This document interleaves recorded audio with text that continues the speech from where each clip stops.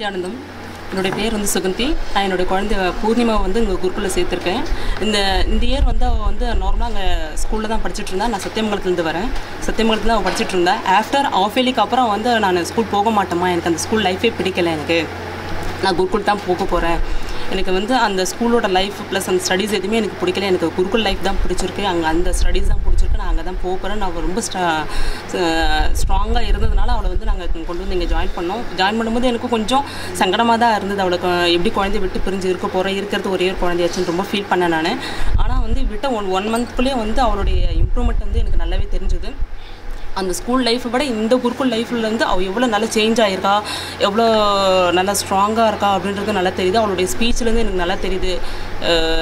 எல்லாமே ரொம்ப தெளிவாக பேசுகிறா நல்லா யோகா பண்ணுறா அப்புறம் வந்து ஒரு சில விஷயங்கள் அவள் எனக்கு கற்று சொல்லி கொடுக்குற அளவுக்கு வந்து இந்த இந்த த்ரீ மந்த்ஸ்க்குள்ளே வந்து நல்லா டெவலப் ஆகிருக்கிற போது எனக்கு ரொம்ப பிடிச்சிருக்கு.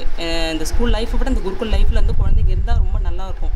ஏன்னா வந்து நம்ம குழந்தைங்களோட பேஸ்மெண்ட் வந்து நல்லா இருந்தால் தான் அவங்களோட வந்து ஃப்யூச்சர் வந்து ரொம்ப நல்லாயிருக்கும் அதனால் வந்து என் என்னோட குழந்தைய வந்து நான் கரெக்டான இடத்துல கொண்டு வந்து விட்டுருக்கேன்றது எனக்கு உள்ள ஒரு ஒரு பெரிய திருப்தி இருக்குது அதே மாதிரி வந்து நீங்களும் உங்கள் குழந்தைங்களை கொண்டு வந்து குருக்களில் விடுங்க. அவங்களோட லைஃப்பும் ரொம்ப நல்லா இருக்கும். நித்யானந்தம்.